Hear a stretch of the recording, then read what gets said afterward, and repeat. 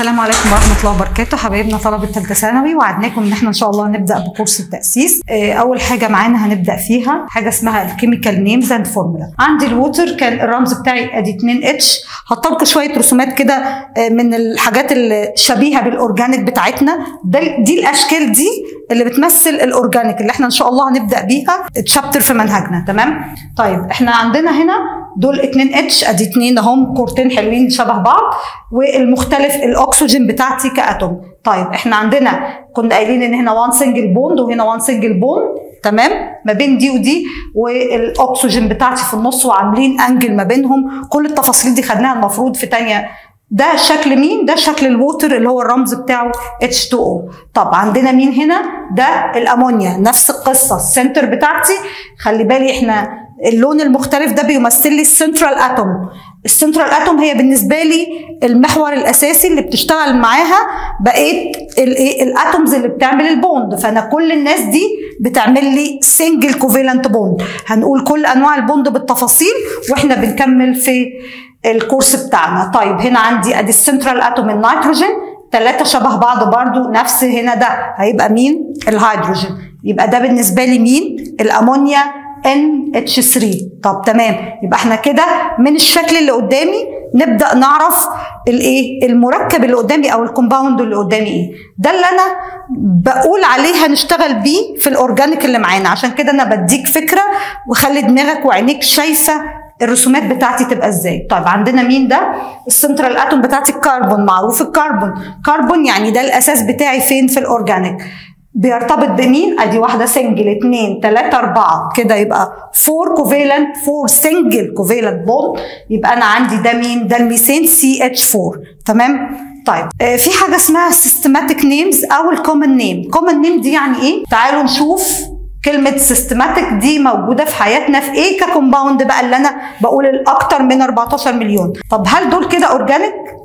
مش هنجاوب على السؤال ده دلوقتي، خلي السؤال ده نجاوب عليه لما نبدأ ال organic فعليا. بس العناصر دي كلها ما تشملش ال organic. العناصر دي كلها أو most of them معظمهم بتشمل ال inorganic أو بنقول عليهم analytical ليه analytical لأن أنا بقدر أفصص بقدر أكسر. يمكن الوحيد اللي أنا ما بقدرش أفصص ولا أكسره هو مين؟ المية. المية ال water بتاعتي دي لها معاملة خاصة تماما لأن نوع ال bond بتاعتها مختلفة اللي هي فيها two single covalent bond طب تمام. يبقى أنا عندي ال water ده ال systematic names بتاعتنا. وارد يجي لي في الامتحان ما يدينيش ال chemical name يعني زي مثلا sodium chloride يقول لي ال table salt وموجود ومش عارف إيه وتفاصيل كتيرة في السؤال. هو المطلوب مني إن أنا لما ببص على السؤال عينيا بتقرأ الكلمة اللي هي ال common name أو ال systematic name ده وأنا بقرأ السؤال بلاقي نفسي خلاص طلعت الرمز وبظبط الدنيا مفيش مشكلة عندي. يبقى أنا أول ما بشوف ال common name خلاص دماغي في ورقة الامتحان وأنا بشتغل بالقلم الرصاص بكتب الرمز بتاعي إيه. خلاص المفروض إن أنا هظبط دماغي اوتوماتيك إنها تشتغل بالطريقة دي. لازم يبقى في سرعة بديهة ودي اللي إحنا عايزين نتكلم فيها في خلال الكورس بتاعنا. إن أنا بحط لك علامة الهاشتاج يعني رقم. تمام. خلاص أنا كده وفرت وقت. كل حاجة أنت بتعملها بتمرن نفسك على إن أنت توفر وقت في الامتحان. دي الحاجة اللي أنا عملت عشانها كورس التأسيس ده إن أنا أخليك تفتكر المعلومات فتجيب اللي موجود من عندك في الذاكرة فطالما جبت اللي في الذاكرة يبقى أنت خلاص الدماغ صاحية إنها تجاوب وبأسرع وقت ممكن. يبقى أنت كده وفرت وقت في الامتحان ولا لأ؟ ده الهدف بالنسبة لي. الهدف إن أنت الثلاث ساعات بتوعك تبقى أنت مش بتحل وأنت متوتر بتحل وأنت مركز قوي عارف كل معلومة بتقولها طالعة من دماغك صح في مكانها الصح وانت بتقرأ السؤال كأنك بتحل مسألة ماس. الجيفن بتكتب بالقلم الرصاصي الحاجات بتاعتك فانت واثق في نفسك وانت بتحل. ده الهدف من إن أنا بقول لك لازم تعمل استدعاء وده بنقول عليه إن إحنا بنجيب من ذاكرة المدى الطويل المعلومات بتاعتنا إيه. عشان كده الكورس التاسيس مفيد بالنسبة لك في الحتة دي. تمام؟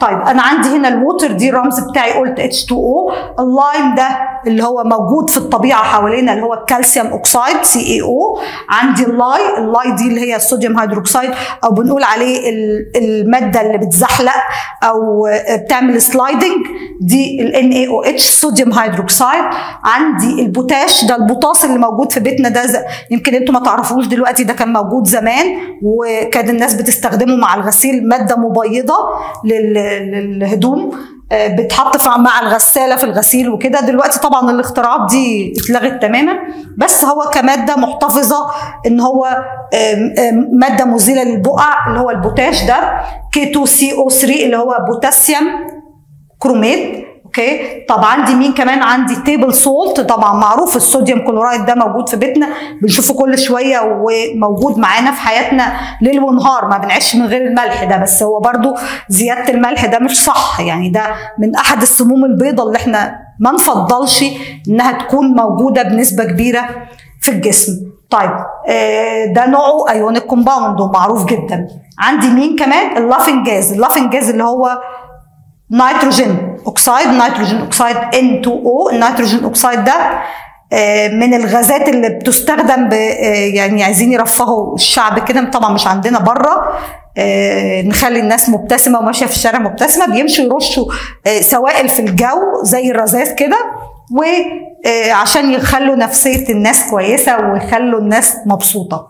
طيب عندي مين كمان؟ عندي ال baking soda. ال baking soda ده اللي هو ال baking powder اللي موجود في بيتنا. sodium hydroxide آه sodium bicarbonate sorry sodium bicarbonate ده NaHCO3 NaHCO3 sodium bicarbonate طبعا كل حياتنا sodium bicarbonate آه كيكة عيش كل حاجة. أكل بتاعنا مين sodium bicarbonate وده أحد الحاجات اللي برضو ال ionic compound اللي موجودة معانا. طب هنبدأ نتكلم عن إيه؟